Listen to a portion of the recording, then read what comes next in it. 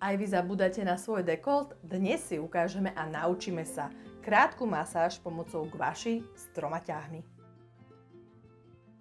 Ahojte, moje meno je Alena, som z Kam za krásou SK a dnes sa budeme učiť masáž, na ktorú potrebujeme gvaša kameň a budeme sa zameriavať na dekolt, na miesto, ktoré veľmi často vynechávame a rovnako si zaslúži starostlivosť. Ako vždy pred začatím budeme potrebovať samozrejme čistú pripravenú gvašu.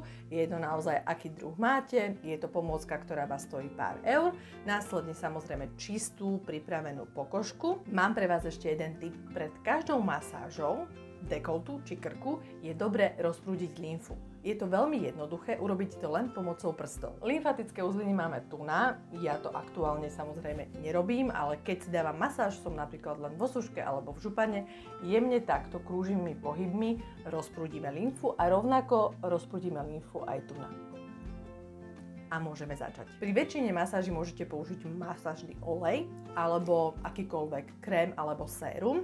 Keď používam olej, vždycky najskôr len zhydratujem a potom pristúpim k aplikácii oleja. Aktuálne používam olej, ktorý je hydratačný a rovnako aj s anti-age účinkom. Stačí pár kvapiek a zapracovať. Začíname od stredu hrudníka, ako máme našu hrudnú kosť. Priložíme si gvaša kameň, opätovne neprikladáme ho takto, kolmo, ale v 30 stupňoch. Čiže priložíme gvaša kameň a jemným, jemným pohybom pôjdeme takto smerom hore a až na naše rameno a zopakujeme.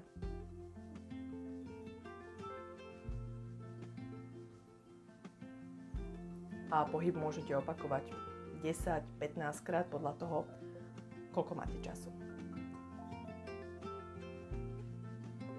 Následne to isté na druhú stranu.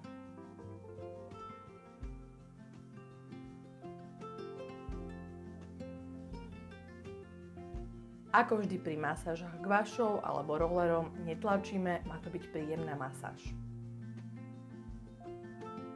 Druhý ťah rovnako začíname v strede hrudného koša na hrudnej kosti, ale tentokrát pôjdeme smerom dolu. Samozrejme, pokiaľ máte len župan alebo tielko, môžete ísť ešte nižšie, čiže ideme a smerujeme k váša kameň smerom k uzlinám. Takisto môžeme zopakovať 10 až 15 krát. Následne ideme na druhú stranu.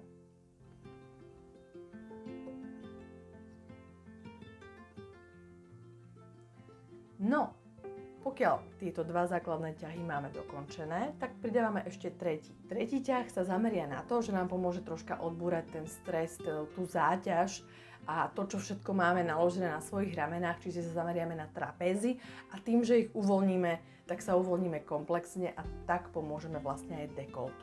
Je to úplne jednoduché, váša kameň si priložíme sem hore, tesne pod ucho, za ucho a takto ho jemne stiahneme a premasírujeme si tie trapezy. Je to naozaj veľmi príjemné.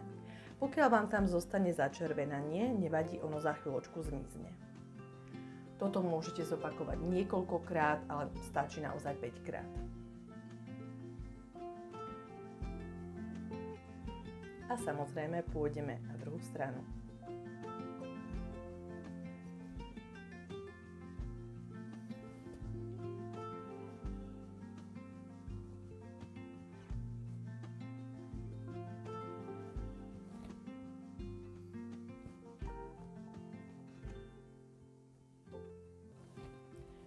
Veríme, že tieto tri ťahy si zamilujete a budete sa naozaj zodpovedne starať aj o váš dekolt, pretože aj ten vie prezradiť ten uh, naozajstný skutočný vek ženy, ako aj krk. Ak sa vám táto masáž páčila, ja sa budem veľmi tešiť, keď nám dáte like a zazdielate ju aj svojim kamarátkam alebo známym, alebo aj kamarátom.